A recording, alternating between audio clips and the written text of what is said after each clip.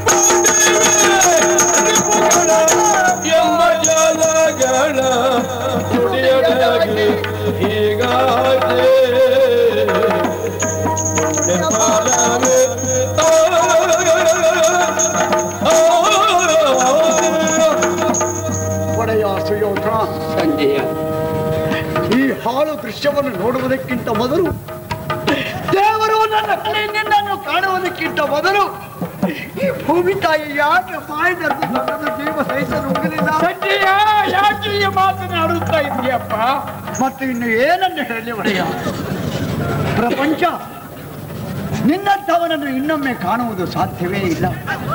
ಈ ಮನ್ವಂತರಕ್ಕೆ ನೀನೊಬ್ಬರಿ ಸುಯೋಧನ ಲೋಕದಲ್ಲಿ ಬೇಕಷ್ಟು ಜನ ಪಡೆಯು ಒಡೆಯರಿರಬಹುದು. ಪುಡವಿ ಪತಿಗಳೂ ಇರಬಹುದು. ಆದರೆ ಪುಡವಿ ಪಾಲಕರು ಮಾತ್ರ ಅತ್ಯಂತ ವಿರಳ. ಅಂತಹ ವಿರಳಾತಿ ವಿರಳರಲ್ಲಿ ನೀನೊಬ್ಬನಪ್ಪ, ಈ ಭೂಮಿ ತಾಯಿಯನ್ನು ಎಷ್ಟೊಂದು ಪ್ರೀತಿಸಿದೆ, ಗೌರವಿಸಿದೆ. ಅವಳನ್ನು ನಿನ್ನ ಸೇವೆಯಿಂದ ತಪ್ಪಿಸುವುದಕ್ಕೆ ಪ್ರಯತ್ನ ಪಟ್ಟವರನ್ನೆಲ್ಲ ಧಿಕ್ಕರಿಸಿ, ಈ ಭೂಮಿ ತಾಯಿಗಾಗಿ ನಿನ್ನ ಒಡದ ಕುರಿಗಳನ್ನೆಲ್ಲ ಬಲಿಕೊಟ್ಟು, ಸುಯೋಧನ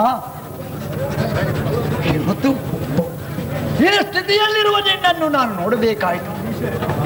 ಒಡೆಯ ಸುಯೋಧನ ಸಂಜೆ. ಯಾವುದನ್ನಾದರೂ ಮನುಷ್ಯ ಸಹಿಸಬಹುದಂತೆ.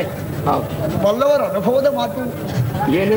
ಆದರೆ ಅತ್ಯಂತ ಅಸಹನೀಯವಾದಂತಹ ವೇದನೆ ಯಾವುದು ಅಂದ್ರೆ ಸಿರಿತನ ಬಂದು ಬಡತನ ಬರುವುದು. ಒಡೆಯ ಒಂದು ಕಾಲದಲ್ಲಿ ಏನೇನೆಲ್ಲ ಆಗಿ ಹೋಯ್ತು ಒಡೆಯ ಏನೇನೆಲ್ಲ ಆಗಿ ಹೋಯ್ತು ಬಿಡದೆ ಬಾಗುತ್ತ ಪರಮಗುಡ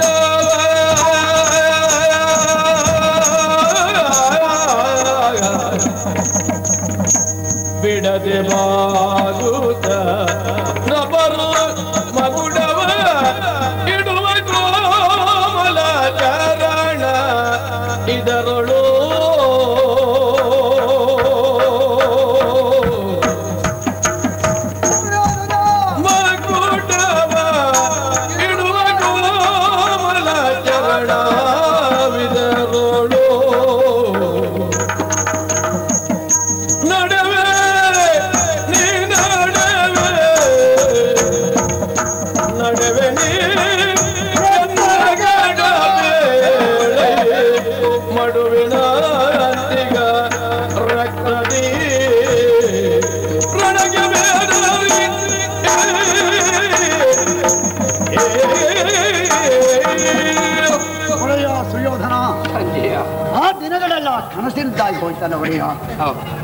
ನಿನ್ನ ಕರುಣಾ ಕಟಾಕ್ಷಕ್ಕಾಗಿ ತಮ್ಮ ನೆತ್ತಿಯ ಮೇಲೆ ರಕ್ತ ಕಾಣಿಕೆಗಳನ್ನು ಹೊತ್ತು ತನ್ನಂತಹ ಮಗುಡವರ್ಧನರು ಕಾಯುತ್ತಿದ್ದ ವೈಭವಪೇತವಾದಂತಹ ದಿನಗಳನ್ನು ನಾನು ಕಂಡವನು. ಯಾರ ಕಾಲಿಗೆ ತಮ್ಮ ತಲೆಯನ್ನು ತಾಗಿಸುವುದರಿಂದ ತಮ್ಮ ಜನ್ಮವಿ ಪಾವನವಾಯಿತು ಎಂದು ಅರಸರು ಭಾವಿಸುತ್ತಿದ್ದರು ಅಂತಹ ಕೋಬಲವಾದ ಕೋಮಲವಾದ ಈ ಪಾದಗಳು ಈ ಪಾದಗಳು ಕೆಸರಿನಿಂದ ರಕ್ತದಿಂದ ಕೆಸರಾಗಿ ಭಾರವಾದ ಹೆಜ್ಜೆಗಳನ್ನು ಎತ್ತಿಡುವಂತಹ ಸ್ಥಿತಿ. ಸುಯೋಧನ ಇದನ್ನೆಲ್ಲ ನೋಡುತ್ತಾ ಯಾಕೆ ನಾನು ಬದುಕಿರಬೇಕು?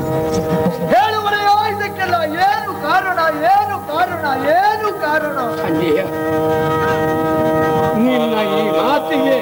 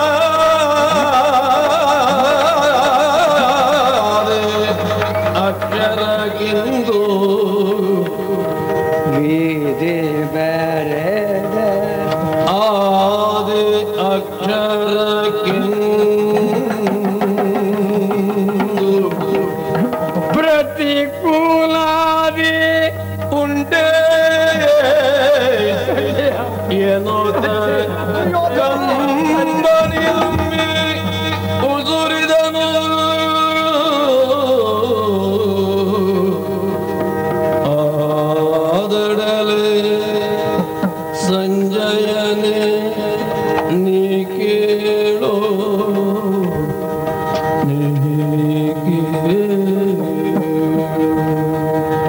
ಸಂಜಯ.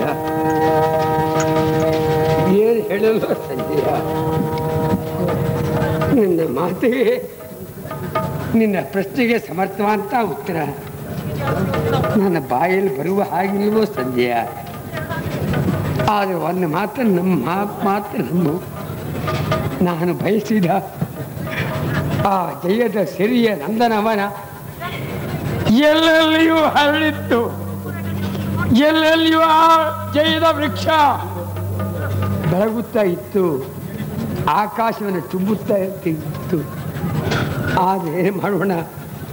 ನನ್ನ ದುರ್ದೈವ ಎನ್ನುವಂಥ ಪಾಂಡವ ಇರು ಎನ್ನುವ ಆನೆಗಳ ಸೂತಿಂದ ನುಚ್ಚು ನೂರಾಗಿ ಹರಿದು ಮುರಿದು ಹೋಗಿ ಹೋಗಿದೆ ಸಂಜಯ.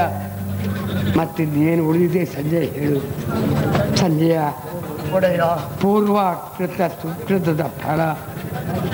ಬಲ್ಲವರನ್ನು ಮಾತನಾಡಿದರು. ಯಾವುದು? ಅಗ್ನಿ ಮಧ್ಯೆ ಪ್ರವೇಶ ಮಾಡಿದವರು. ಜಲ ಮಧ್ಯೆ ಹೋದವರು. ರಣಾಂಗಣವನ್ನು ಪ್ರವೇಶ ಮಾಡಿದವರು. ಪುಣ್ಯ ಇದ್ದರೆ ಮಾತ್ರ ಪುನಃ ಮತ್ತೆ ಮತ್ತೆ ಬಂದು ಸೇರುತ್ತಾರೆ ಎಂದು. ಆದರೆ ಆ ಪುಣ್ಯವನ್ನೇ ಕರೆದುಕೊಂಡಿದ್ದೇನೆ ಸಂಜಯ ನೋಡಿದೆ ಸಂಜೆಯಲ್ಲಿ?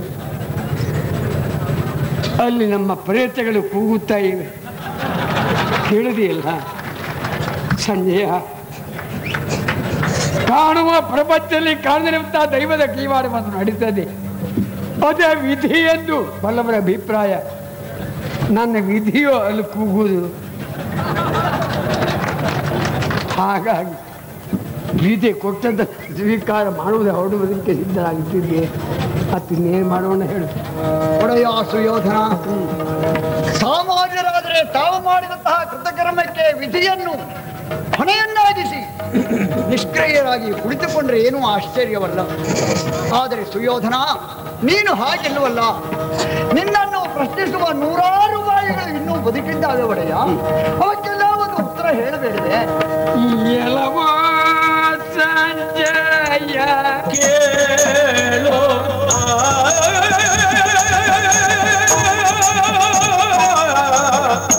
ಎಲ್ಲವೋ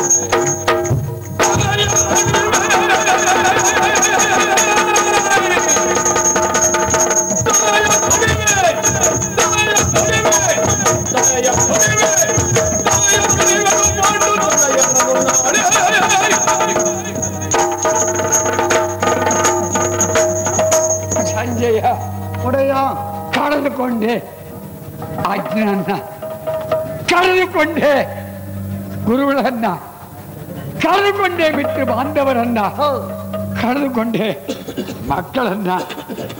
ಆದರೆ ನನ್ನ ಅಂತರಂಗದ ಆಳದಲ್ಲಿ ಇರುವಂತಹ ಛಲವನ್ನ ಮಾತ್ರ ಕಳೆದುಕೊಂಡಿಲ್ಲ. ಆ ಛಲದ ಕತ್ತಿ ಮಸದೇ ಇದೆ. ಆ ಮಸದಿರುವ ಕತ್ತಿಯಿಂದ ಪಾಂಡವರ ಕತ್ತನ್ನ ಕತ್ತರಿಸಿ ಒಗಿತೇನೆ ಹೋಗು ನಾಳೆ. ಒಡೆಯೋ ಸುಯೋಧನ, ನೀನೇನೋ ಸಮಾಧಾನಗೊಳಿಸಬಹುದು. ಆದರೆ ಕ್ಷೇತ್ರದಲ್ಲಿ ಹಾಯ್ದು ಬರುವಾಗ ಉನ್ಮತ್ತರಾದಂತಹ ಭೀಮಸೇನನು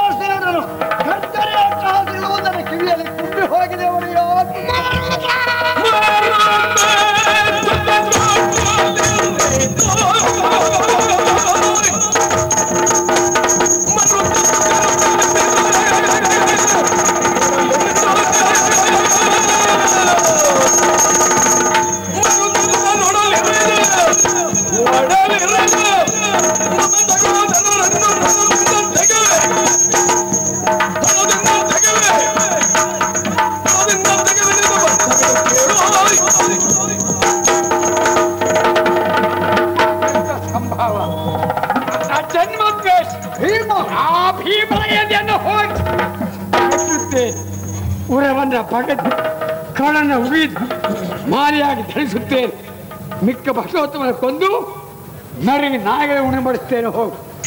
ಒಡೆಯ ಸುಯೋಧನ, ಈ ಸ್ಥಿತಿಯಲ್ಲಿಯೂ ಬತ್ತದೇ ಇರುವಂತಹ ನಿನ್ನ ಛಲವನ್ನು ಕಂಡುವುದರಿಗೆ ಬಹಳ ಸಂತೋಷವಾಯಿತು.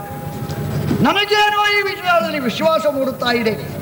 ಸುಯೋಧನ ಇನ್ನೂ ಸೋತಿಲ್ಲ ಸೋತಿಲ್ಲ ಎಂದು. ಆದರೆ ಸುಯೋಧನ, ಒಡೆಯ, ನಾನು ಸಮಾಧಾನ ಪಟ್ಟುಕೊಳ್ಳಬಹುದು ಪಾ- ನಾನು ಸಮಾಧಾನ ಕೊಟ್ಟುಕೊಳ್ಬಹುದು ಆದರೆ ನಿನಗಾಗಿ ಕಾಯ್ದುಕೊಂಡಿರುವ ವೃದ್ಧ ತನ್ನ ತಂದೆ ಮಹಾರಾಜ ಧೃತರಾಷ್ಟ್ರ ಸಂಜಯ ನನ್ನ ಮಗ ಏನಾದ ಏನವನ ಸ್ಥಿತಿ ಗತಿ ಎಂದು ಕೇಳಿದ್ರೆ ಅಯ್ಯ ನಾನು ಏನು ಉತ್ತರ ಹೇಳಿ ಒಡೆಯ ನಿನ್ನ ತಂದೆಗೆ ತಂದೆ ಗತಿ ಧೈರ್ಯವನ್ನು. ಕೊಳುವುದು ದೂರ ನೀನು. ತಂದೆ ಗಡಿಲ ತಮ್ಮದಿ ಬೇಡ. ಇಂದು ಜನರಿಗೆ ದೃಢಗೊಳಿದೆಲ್ಲ ತಿಳುವೋ.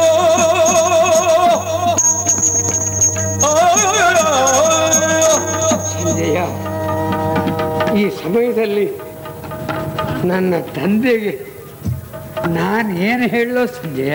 ಅದೇ ನನಗೆ ತಿಳಿಯದಾಗಿದೆ? ಏನು ಹೇಳಿ ಹೇಳು. ತಾರತಮ್ಯ ಜ್ಞಾನ ಇದ್ದ ನಿನಗೆ ಹೊಸದಾಗಿ, ವಿವರವಾಗಿ ಹೇಳಬೇಕಾದಿಲ್ಲ. ಕ್ಷತ್ರಿಯ ಕೈಗೊಳ್ಳಬೇಕಂತ ಆ ಕಾರ್ಯರಂಗವನ್ನೇ ನಿನ್ನ ಮಗ ಪ್ರವೇಶ ಮಾಡಿದ್ದಾನೆ ಎಂಬುದನ್ನು ಹೇಳಿಬಿಡು, ಸಾಧ್ಯ. ಈ ಲೋಕವನ್ನ ನೋಡುವ ಕಣ್ಣು ನನ್ನ ಅಪ್ಪನಿಗಿಲ್ವೋ? ಆದರೂ ನನ್ನ ತಂದೆಯ ಜೀವನಕ್ಕೊಂದು ಸಮಾಧಾನ ಇತ್ತು. ತನ್ನ ಪಾಲಿಗೆ ಕಣ್ಣಿಲ್ಲವಾದರೂ ನೂರು ನೂರು ಕಣ್ಣುಗಳು ಹುಟ್ಟಿದ್ದಾವೆ ತನಗೆ ಎಂದು ಸಂತೋಷ ಪಡುತ್ತಾ ಇದ್ದ ಆ ನೂರು ನೂರು ಕಣ್ಣುಗಳು ಹುಟ್ಟಿ ಯಾವ ಸಮಾಧಾನ? ನೀನು ನೀವು ಹೇಳು ಸಂಜಯ ಆದರೂ ನನ್ನ ಅಪ್ಪ ಕ್ಷತ್ರಿಯ. ಅವನಿಗೆ ಹೇಳಿಬಿಡಪ್ಪ ನನ್ನ ಸ್ಥಿತಿಯನ್ನ ಗತಿಯನ್ನ. ಸುಯೋಧನ ನಿನ್ನ ತಂದೆಯವರನ್ನು ನನ್ನ ಮಾತುಗಳಿಂದ ನಾನು ಸಾಂತ್ವನಗೊಳಿಸಬಹುದು ಆದರೆ ಒಡೆಯ ಆದರೆ ಒಡೆಯ ಆದರೆ ಕಣ್ಣೀರ ಕೋಡಿಯನ್ನೇ ಹರಿಸುತ್ತಾ ಕ್ಷಣ ಕ್ಷಣವನ್ನು ಎಣಿಸುತ್ತಿರುವ ತಮ್ಮ ಮಾತೋಶ್ರೀಯವರು. ಸಂಜಯ, ನನ್ನ ಮಗ ಎಲ್ಲ ಅಂತ ಕೇಳಿದ್ರೆ ನಾನು ಏನು ಉತ್ತರ ಹೇಳಿ, ಹೇಗೆ ಸಮಾಧಾನಗೊಳಿಸ್ತೀನಿ? ನನ್ನ ಅಮ್ಮನಿಗೆ, ಅಮ್ಮ! ಅಮ್ಮ!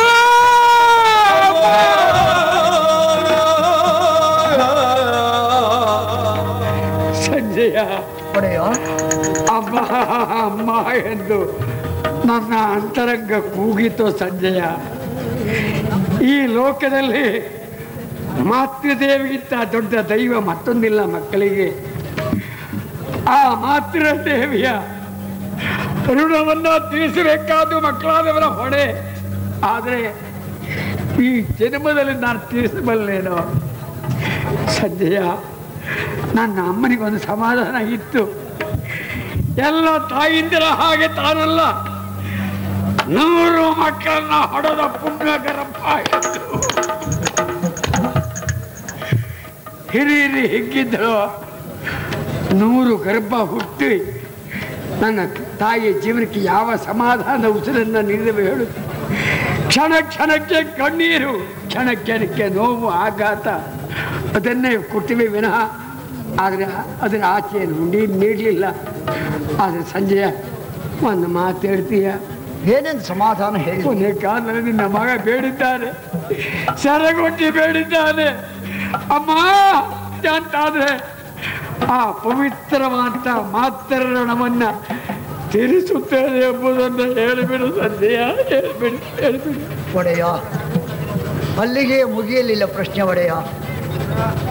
ತಮ್ಮ ಪತ್ನಿ ಭಾನುಮತಿ ದೇವಿ ತಮ್ಮ ಬರವಿಗಾಗಿ ಕಾಯ್ದಿದ್ದಾಳೆ ನಾನು ಬರುವಾಗ ಕಣ್ಣೀರಿಟ್ಟು ಸಂಜಯ ಅವರನ್ನು ಕರೆದುಕೊಂಡೇ ಬಾಯಿತು ಕಂಬನಿ ಮಿಡಿತು ಆ ಭಾನುಮತಿ ದೇವಿಗೆ ನಾನು ಏನು ಉತ್ತರ ಹೇಳಿ? ನನ್ನ ಭಾಗ್ಯವತಿ ಭಾನುಮತಿ ತರುಣಿಗತಿ ಧೈರ್ಯವನ್ನು ತಳುವ ನೀನು. ತರುಣಿಗತಿ ಧೈರ್ಯವನ್ನು ತಳುವುದು ದುರೈ ನೀನು ಅರಮನೆ ಜನಗೆಲ್ಲ ಅರಿವು ಮಾಡೇನು? ಸಂಜಯ ನನ್ನ ಭಾಗ್ಯವಂತೆ ಭಾನುಮತಿ ಏನು ಹೇಳ್ತೀಯಪ್ಪ? ಏನಾದ್ರು ಹೇಳು. ನನಗೆ ತಿಳಿಯದಾಗಿದೆ ಒಡೆಯ. ಏನಾದ್ರು ಹೇಳ್ಬಿಡು. ಅವಳನ್ನು ಸಮಾಧಾನಗೊಳಿಸುವುದಕ್ಕೆ ಯಾವ ದಾರಿ ಇದೆ ಹೇಳು? ಇಲ್ಲ ಯಾವ ದಾರಿಯೂ ಇಲ್ಲ. ಸಂಜಯ ಕೊನೆ ಕಾಲದಲ್ಲಿ ಗಂಡನಾದವ. ಒಂದು ಹೆಂಡತಿಗೆ ಸಮಾಧಾನದ ಒಂದು ಮಾತನ್ನು ಆಡಲಿಲ್ಲ ಅಂತ ಆದರೆ ಆ ಗಂಡತನಕ್ಕೆ ಯಾವ ಅರ್ಥ ಇದೆ, ಯಾವ ಬೆಲೆ ಇದೆ ಹೇಳು ಸಂಜೆಯ. ಹೇಳು. ಮದುವೆ ಆದಮೇಲೆ ಮುಕ್ತಾಗಿ ಕಾಲ ಕಳೆದೆವು. ಮುಕ್ತಾಗಿ ಸುಖದ ಅನ್ನವನ್ನು ಉಂಡೆವು. ಮುಕ್ತಾಗಿ ಏನೆಲ್ಲ ಅನುಭವಿಸಿದೆವು. ಕೊನೆಯ ಕಾಲದಲ್ಲಿ ನಾವಿಬ್ಬರು ಹುಟ್ಟಾಗಿ ಬೆಳೆಯುವೆನು ಸಂದೇಹ ಅಂದ್ರೆ ಹೇಳು ಸಂದೇಹ ನಿನ್ನ ಗಂಡ ಸತ್ತು ಹೆಣವಾಗಿ ಬಿದ್ದಾಗ ಧಗ ಧಗಿಸುವಾಗಿ ನುಗ್ಗುತ್ತಿರುವ ಕಾಲಲ್ಲಿ ಸತಿ ಧರ್ಮ ಸಾರವಾಗಿ ಸಾಹವನ ಮಾಡಿಬಿಟ್ಟು ನನ್ನ ಮನೆಯಲ್ಲಿ ನನಗಾಗಿ ಸೌಭಾಗ್ಯ ತೆರಕನ್ನು ಬಳಸ್ಕೊಂಡಿರಿದ್ದಾರೋ ನನಗಾಗಿ ಮಾಂಗಲ್ಯ ಬಂಧವನ್ನು ಹರಿದುಕೊಂಡವರಿದ್ದಾರೆ ತನಗಾಗಿ ಮಕ್ಕಳನ್ನು ಕಳೆದುಕೊಂಡ ವಯೋವೃದ್ಧರು ಜಾನವೃದ್ಧರಿದ್ದಾರೆ ಅವರಿಗೆಲ್ಲ ಹೇಳು ನಿಮ್ಮೆಲ್ಲರ ಭಾಗ್ಯದಾಯಕ ಪೊಡವೆ ಪಾಲಕ ನಾಳೆ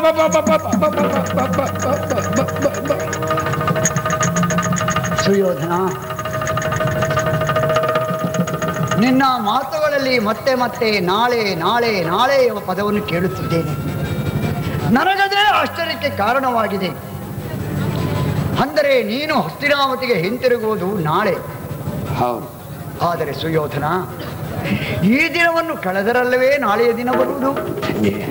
ಆ ಈ ದಿನವನ್ನು ಪಾಂಡವರ ಕಣ್ತಪ್ಪಿಸಿ ಉಳಿಯುವ ಬಗೆ ಹೇಗೆ ಒಡೆಯ? ಮಾತಾಡಬೇಡ ಮತ್ತೊಬ್ಬರ ಕಿವಿಗೆ ಈ ಶಬ್ದ ಬೀಳಬಾರದು. ಇಲ್ಲವಾ ಇಲ್ಲಿ.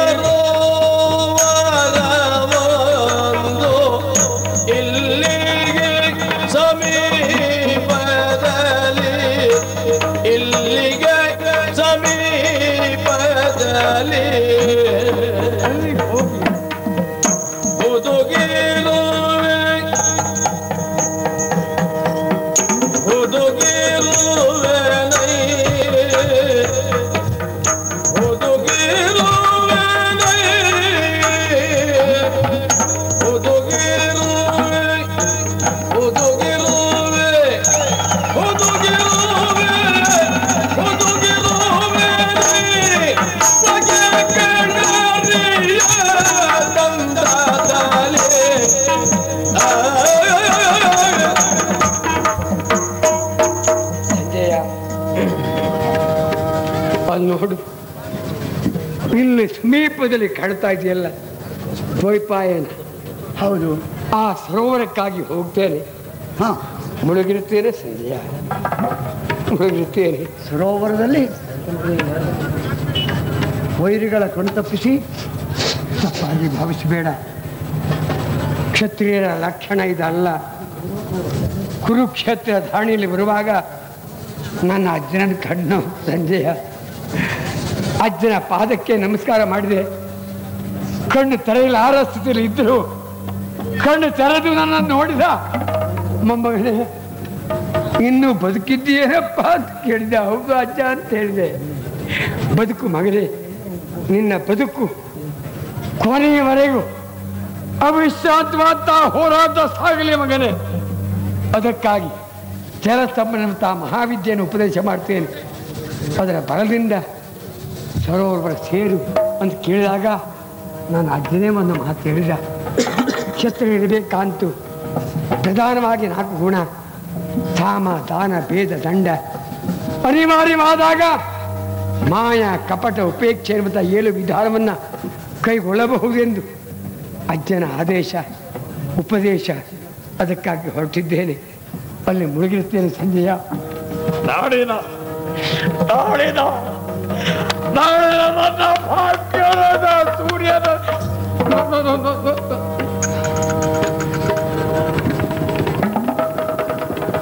ಹಾಗಿದ್ರೆ ಸುಯೋಧನ, ನಾನು ಪುನರಪಿ ನಿನ್ನನ್ನು ಕಾಣುವುದು? ಭಾಗ್ಯ ಇದ್ರೆ, ಯೋಗ ಇದ್ರೆ ಬಂದು ಕಾಣ್ತೇನಪ್ಪ. ಇದೇ ಕೊನೆಯ ವ್ಯಕ್ತಿಯಪ್ಪ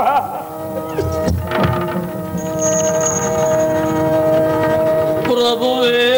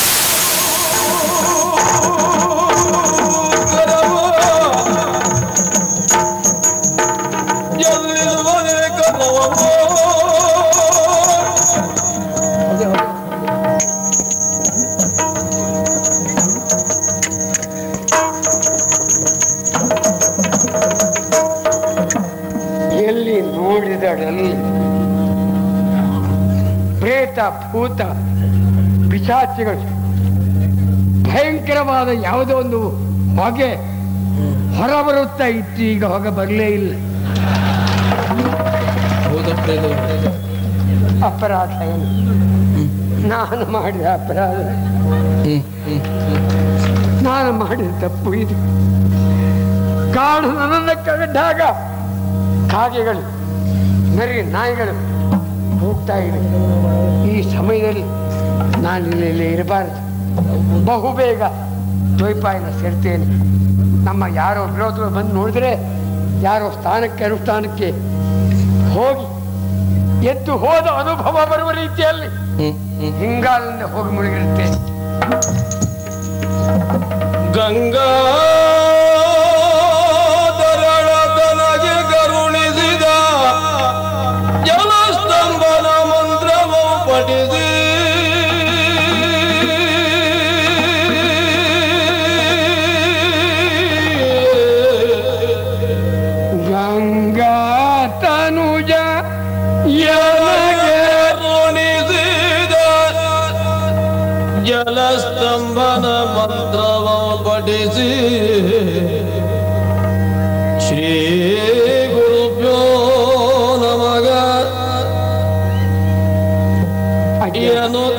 ಭಕ್ತಿಯೊಳೆರಗಿ ಅಜ್ಜ.